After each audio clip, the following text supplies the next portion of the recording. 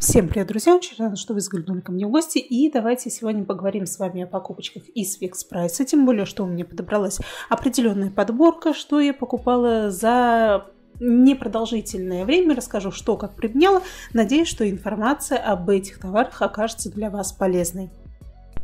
Еще как-то по весне хотела вам рассказать про вакуумные пакеты, но если, честно говоря, признаться, вакуумные пакеты не являются для меня той покупкой, которую я совершила впервые и открыла для себя вот этот а, товар для себя. Вообще, впервые вакуумные пакеты я купила в фикс прайсе, как только магазин этот открылся. Мне кажется, это уже было лет 8 или 9 назад. Честно уже говоря, не помню, когда эта сеть пришла в наши города. И вот вакуумные пакеты постепенно я докупаю по мере поступления вещей. И вот именно этой весной я открыла для себя лайфхак, как же еще можно использовать вакуумные пакеты, помимо того, что просто складывать туда вещи и использовать их для компактного хранения. И в тот период, когда мы готовились к отпуску в деревню, на майские праздники, открывать дачный сезон. На три недели мы уезжали в деревню, и я собирала вещи, в том числе некоторые Сонины вещи, куртки объемные, в которых она уже не будет ходить дома, и которые хотелось отвезти на дачу. И вот именно вакуумные пакеты мне помогли очень компактно запаковать все вещи, распихать их по сумкам. Ну а как вы знаете, если едешь на на машине каждый кусочек пространства багажника является очень ценным. И вот именно при использовании вакуумных пакетов для упаковывания вещей в поездку, мне этот способ оказался очень полезным и очень классным. Все вот такие объемные синтепоновые вещи, куртки, жилетки, штаны я просто расфасовывала по пакетам и пылесосом откачивала воздух. И сразу значительно, примерно раза в два, а то и в три вещи становились намного компактнее. Поэтому, если вдруг соберетесь в отпуск и у вас наберется большое количество вещей, присмотритесь к такому способу использования пакетов. Надеюсь, он вам тоже пригодится. Примерно месяца два назад в фикс-прайсе у нас появились в продаже вот такие маленькие фетровые корзинки. Несмотря на то, что в других городах они появились в продаже уже очень давно, но вот у нас доехали только месяца два назад.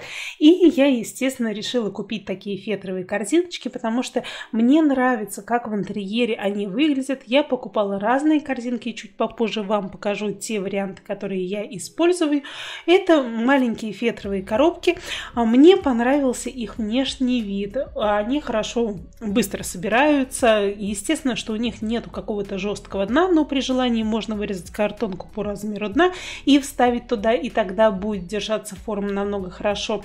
Собираются они просто, разворачивается вот такая коробочка, отворачивается внешний край и сразу приобретается вот такой красивый внешний эстетический вид. Я купила две вот таких коробочки, посмотрите, как они интересно выглядят. И самое интересное, что были они представлены в двух вариантах расцветок.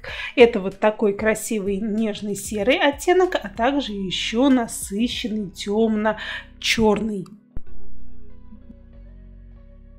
До этого в экспрессе я покупала несколько вариантов фетровых корзинок. Это круглая корзинка, которую использую для хранения гелей и порошка для стирки белья. Также квадратная корзинка используется у меня для хранения постиранного белья, которому предстоит глажка. И на верхнем пенале в ванной комнате я постоянно использовала пластиковые корзинки для хранения аксессуаров для укладки волос, а также различных косметических продуктов. Но мне захотелось их как-то поменять, поэтому решила одну корзинку поставить именно для аксессуаров. Это фены, плойки, различные а, завивашки для волос – а еще помните, по осени была популярна коллекция лофтовые посуды. Это различные аксессуары, металлические аксессуары в черном цвете. В тот период я купила вот такой салатник, и я его ждала очень давно, вот такую металлическую корзину. А она мне по внешнему стилю очень хорошо подходит под кухню, потому что у меня кухня в серо-черно-красных тонах. И я отслеживала, я ждала эту корзинку, стоила она 249 рублей, и хотела ее приобрести для хранения хранения фруктов. И вот, если честно признаться, как я и хотела использовать эту корзинку, и до сих пор, это уже по прошествии, наверное, месяцев 4-5, я использую эту корзинку именно для хранения фруктов.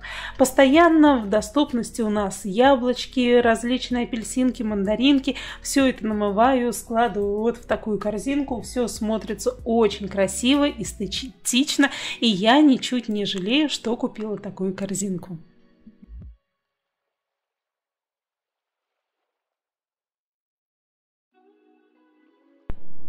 Друзья, помните, в начале февраля я выпускала отдельный ролик с различными удобрениями и добавками для растений, для сада и огорода. Это у нас было открытие дачного сезона, и в тот период я купила большое количество удобрений. Будь то э, это удобрения для орхидей, для роз, специальные добавки для защиты от пустоцвета, которые обычно мы применяем для а, огурцов и помидор. Зависть тоже очень хорошо влияет на огурцы, на созревания, скороспел, увеличивает созреваемость продуктов. Также вот такое удобрение в этот раз купила. И, кстати, оставлю ссылочку на тот обзор, потому что там был представлен полный ассортимент этих товаров со всеми ценами полностью хорошо и подробно все показывала. Также купила несколько удобрений для корнеобразования, которые актуальны при пересадке а, рассады именно в открытый грунт.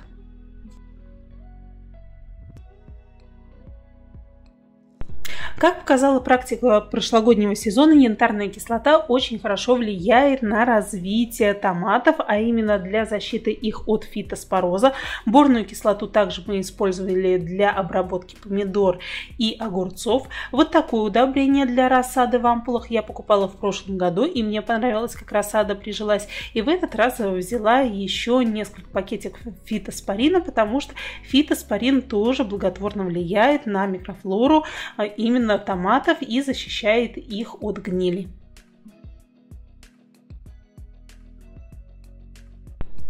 Также было у меня несколько покупок именно чистящих средств. Например, покупала вот такое средство антижир от производителя Сир. Это немецкий бренд, представлен он в формате спрей. Я не очень хорошо изучила аннотацию именно в магазине. Я подумала, что это обычное средство, которое удаляет нагар и жир. Но нет, как показала практика, это средство предназначено для обработки поверхности и удаления не сильно въевшихся жировых отложений, ну, например, когда нужно быстренько помыть плиту, духовку, но вот какие-то тяжелые загрязнения это средство не удаляет. Но при этом для каждодневного использования средство работает хорошо, просто наносила его на рабочую поверхность плиты, давала постоять примерно минут 5 и потом всячески тщательно вытирала, удаляла все загрязнения и эффект действительно был, плита становилась намного чище. Но пробовала на сковородке какие-то вот сложные загрязнения, это средство точно не удалит.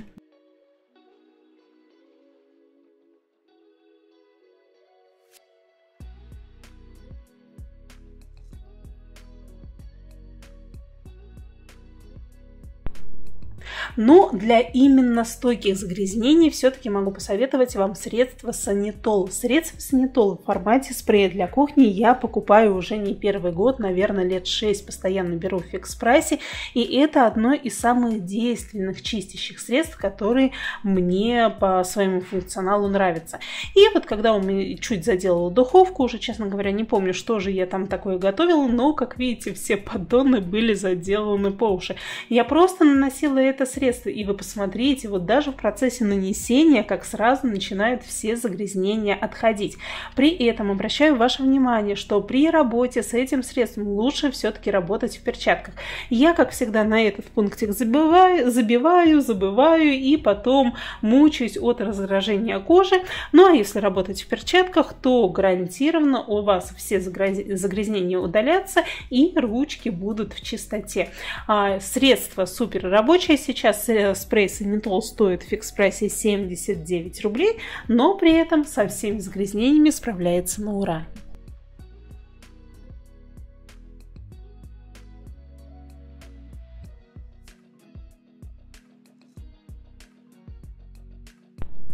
Еще открытием за последние пару месяцев среди покупок было средство от фирмы Grass.